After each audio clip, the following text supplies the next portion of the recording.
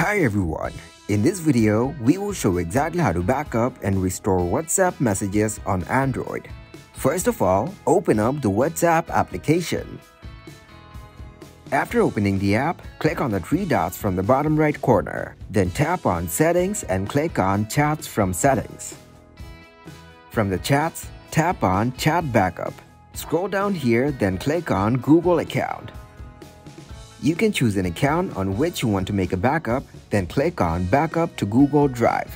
From here, you can choose any option like daily, weekly, monthly to make a backup. Then tap to turn off the backup using cellular option. Now wait for WhatsApp to generate the backup for you. After that, get back to the home page of your phone. Now tap and hold on the WhatsApp application, then click to uninstall it. Take the checkbox of keeping the app data, then click on OK to uninstall the app. After that, open up the Play Store and search here WhatsApp.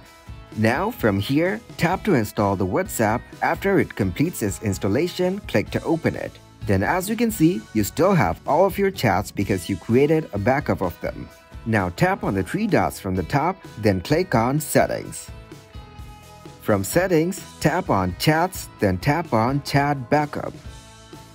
Make sure you turn on the backup option. Thanks for watching and please leave a like, subscribe and share.